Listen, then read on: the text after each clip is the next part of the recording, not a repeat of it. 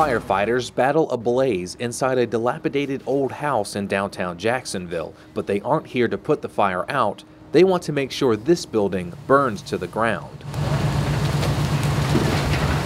It's part of a live burn exercise that will give valuable training to the Jacksonville Fire Department and remove blight from the city's downtown area. But before anyone strikes a match, a lot of work is done to prepare. Community Development Administrator Lily Gray says the demolition at 402 Mill Avenue is part of a larger plan. Our strategy for downtown redevelopment is to bring people back to downtown, to make downtown a destination place again like it used to be. The city of Jacksonville has been working over the last several years to tear down dilapidated structures and removing uh, slum and blight conditions in the downtown area. We've torn down over a dozen buildings in the past two years. And the unique thing about this one is it allows us to stretch our resources and provide training to our firefighters while still eliminating a slum and blight condition in the neighborhood. A lot of work goes into making sure this house is ready to burn. The house must be gutted for safety reasons. We help coordinate the asbestos removal. We have to make sure that the, all hazardous materials are removed before any demolition occurs. So we coordinated that piece for the fire department and prepared the structure for them to actually go in safely and, and conduct their burn. This is a residential house that was uh, owned by Hunter Hadley, uh, and he wants to redevelop this site. And uh, he's donated uh, the house for our use for conducting a live burn operation in. Deputy Chief Spencer Lee is leading the exercise, and he has carefully examined every inch of this structure. Part of the preparation uh, to prepare the house for live burn training required us to be able to evaluate the house to see if it was actually a good live burn candidate house. We actually have to have a house that, even though it's about to be demolished, to be in somewhat sound shape because we're going to be entering in and out of as a structure as firefighters during a structure fire. This training not only keeps firefighters and citizens safe, it also keeps insurance rates low for homes inside the Jacksonville city limits. We're conducting a live burn uh, for training, particularly for some of our new firefighters, and we're also preparing some more seasoned firefighters to become live burn instructors. Inside the house, a carefully crafted structure is being built to burn. So what these guys are doing right now is they're building what we refer to as a burn set. Uh, and this is how we'll get the fire propagated inside the structure to help facilitate creating an environment like they would experience in a real uh, structure fire. The burn set is about as low tech as you can get. This is just wheat straw that we buy locally. It's a tender kindling uh, that uses to help propagate uh, the fire, help build it fast. Uh, this is a a much better control burning material than something, say, like gasoline. Gasoline is very volatile, so we want to use something that has a, uh, uh, it, it will still create a hot fire, but it'll burn in a more controlled manner. All right, go get your team. Controlling the fire's behavior will keep firefighters safe while still keeping the training realistic. And as the fire started at the bottom of the pile and tra uh, travels up to the top, starts rolling across the ceiling, it'll give them an experience they would uh, likely encounter in a real structure fire. Real quick, team one. There's one final safety briefing before the burn. Two possible entries on this house. Front door and side door. Check your patterns before you go in. Radio communications, anytime you make entry, anytime you exit the structure. Flames are the least of the firefighters' worries on this hot July day. Primarily, the biggest safety concern that we have today is the fact that it's, you know, in the high 90s. Firefighters working in, a, uh, in extremely uh, volatile environments and, and wearing turnout gear and things of that nature adds to their body heat. And when they're exposed to high temperature environments like they have here today, it, it just compounds the problems that they experience. The Jacksonville Police Department cordons off the area.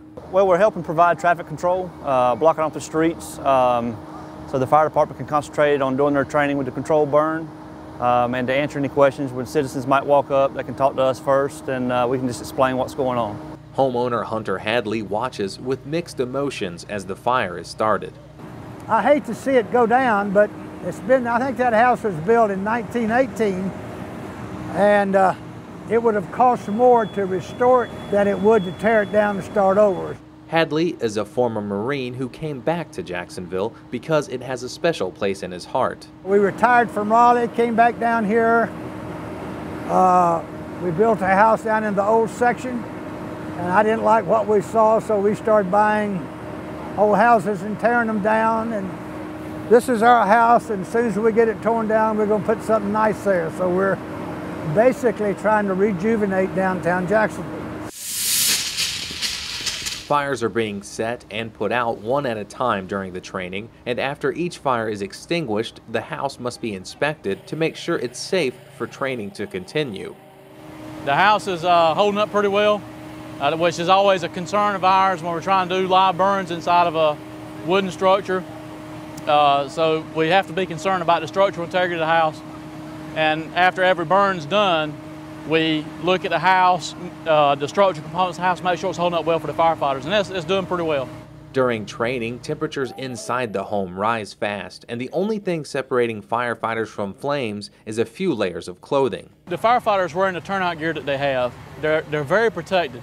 That don't mean they can't get hurt, but they're very protected by the turnout gear they have, which helps prevent them from feeling some of the environment that they're in.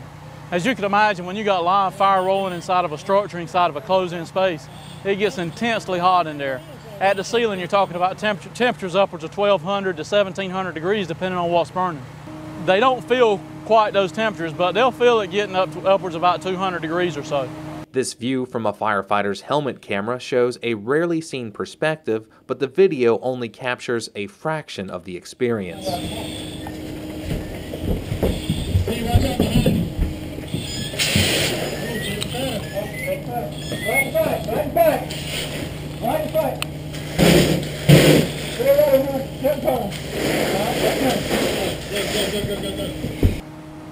It's intensely hot. The gear that they wear also uh, muffles sound, so it's difficult to hear. It's difficult to speak because you're behind the mask. We got a limited field of vision having that mask on, and then when you complicate things by the amount of smoke, when the smoke, when they when they attack the fire, it goes to zero visibility. Literally, you cannot see your hand in front of your face in a lot of instances. Experiencing this in a training environment prepares firefighters for the real thing. A lot of the skills, you know, they're learning, you know, when they go in there, they're learning about fire behavior. So they're going to sit back and actually look at the fire and look at the different stages of, you know, growth that it's going through. They're going to look at, you know, what it does as they go through extinguishment. So they'll learn, you know, some different techniques, proper ways to extinguish a fire. We're using it as an opportunity for our up and coming officers. So they're doing some training as team leaders. We also have some personnel who are going to be uh, furthering their fire instructor certifications and becoming live burn instructors. So they're actually going through training on how to become the instructors to take people through these types of evolutions. So we've got a lot of skills that we're accomplishing with this. It's getting late and all of the training fires have been extinguished. There's just one last fire to set the one that will take this old house to the ground and help prepare downtown Jacksonville for new growth.